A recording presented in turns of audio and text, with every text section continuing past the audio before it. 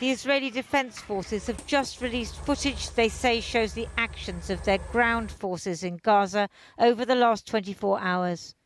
They say they struck Hamas units attempting to launch anti tank missiles and mortar shells.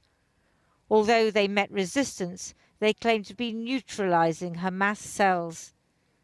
But however compelling the combat footage, it's impossible to know how successful they're being in their attempt to destroy Hamas, nor to know the cost in civilian life of urban warfare in the congested streets of Gaza City. I completed a situation assessment. Last night, we have accomplished a phase in the war. We will continue to be strong and precise and hunt down every The IDF released night vision footage of its tanks and armoured vehicles entering Gaza last night after mobile phone and internet had been cut so people couldn't inform Hamas fighters about the location of the Israeli columns. It also means they can't send pictures of the damage undoubtedly being wreaked on civilian infrastructure, not to mention those being killed.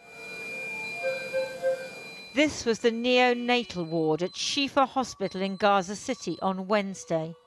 Apart from the patients, thousands of civilians have sheltered there because under international law a hospital shouldn't be targeted. But the IDF says Hamas has its headquarters beneath the hospital, suggesting they might regard it as a legitimate target. We will soon continue to expose, like we exposed yesterday, Shifa Hospital. We will continue to expose more details on Hamas using the civilian population in Gaza, foreign and local. We will expose this soon.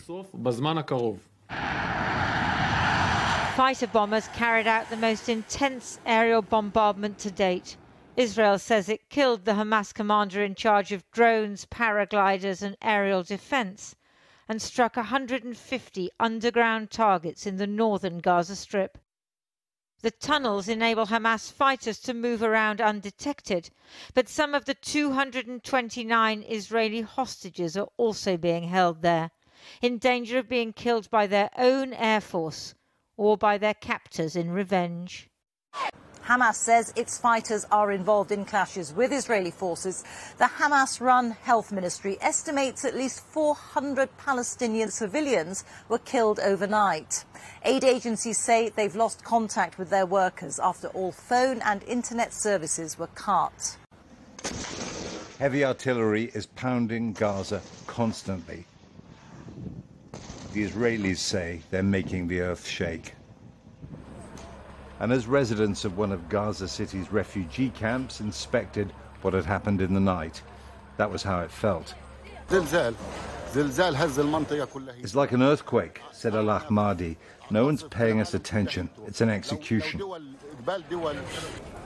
Many Palestinians believe Israel wants to force them out of Gaza, and they interpret it as a threat, not a warning, when Israel's army tells them again to move south from places like this. As for the Israeli people, Prime Minister Benjamin Netanyahu issued a solemn warning. The war inside the Gaza Strip will be difficult and long, and we are prepared for it. This is our second war of independence. We will fight for the defense of the homeland.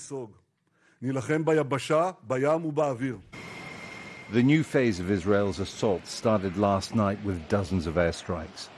Israel believes overwhelming military strength can pacify Gaza. But military power alone has never brought lasting quiet, let alone peace, in this conflict's long history. Israel claimed one of its strikes killed a senior Hamas commander. Israeli tanks and soldiers moved forward into the north of the Gaza Strip. Gaza's visible from a hill in Sderot. Israel will resist pressure for a ceasefire. And there's another factor. The more Palestinians that Israel kills, especially civilians, the greater the levels of anger and outrage elsewhere in the Middle East among Israel's friends as well as its enemies. Now, that doesn't guarantee that the war would spread, but it does increase levels of anger and volatility in a part of the world that is already very fragile. Israel's ground war has started. Containing it here is now the biggest political and diplomatic challenge in the world. Jeremy Bowen, BBC News in southern Israel.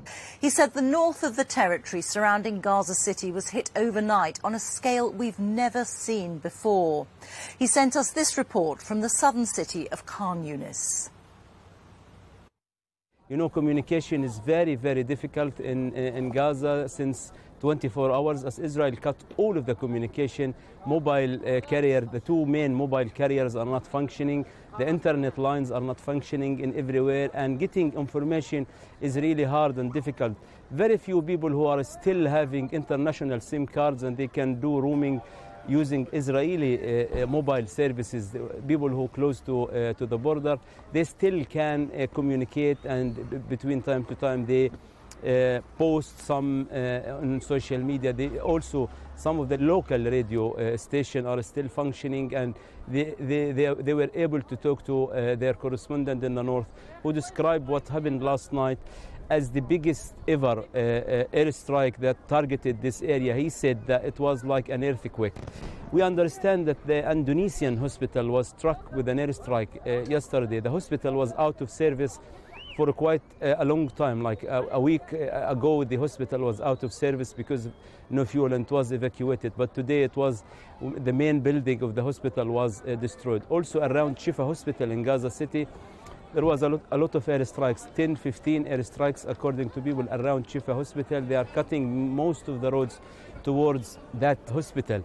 Uh, communication, as I said, is extremely uh, difficult. We are unable to verify a lot of reports about uh, the, num the, number of people dead or injured. But as far as the health ministry was was doing a press conference this this afternoon, they said about 400 people were killed overnight. But they said hundreds other are missing under the collapsed building in the in the north